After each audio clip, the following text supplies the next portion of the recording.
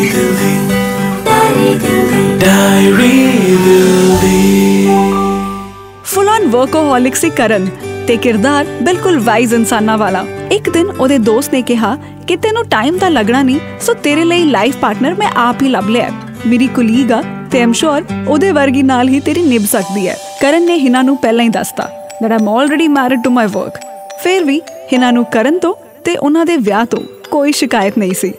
ਹੌਲੀ ਹੌਲੀ ਜਦ ਕਰਨ ਨੇ ਇਸ ਚੀਜ਼ ਨੂੰ ਅਪਰੀਸ਼ੀਏਟ ਕਰਨਾ ਸਿੱਖਿਆ, ਤਾਂ ਉਹਨੇ ਦੋਵੇਂ ਵਿਆਹ ਬਖੂਬੀ ਨਿਭਾਏ। ਆਪਣੇ ਕੰਮ ਨਾਲ ਵੀ ਰਿਸ਼ਤਾ ਰੱਖਿਆ ਤੇ ਟਰੈਵਲ ਤੋਂ ਬਾਅਦ ਜਦ ਵੀ ਉਹਨੇ ਘਰ ਆਉਣਾ, ਆਪਣੀ ਪੂਰੀ ਫੈਮਿਲੀ ਲਈ ਉਸ ਰਾਤ ਦਾ ਡਿਨਰ ਉਹਨੇ ਆਪ ਕੁੱਕ ਕਰਨਾ।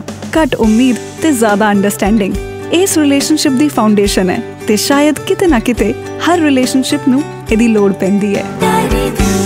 ਡਾਇਰੀ ਦਿਲ ਦੀ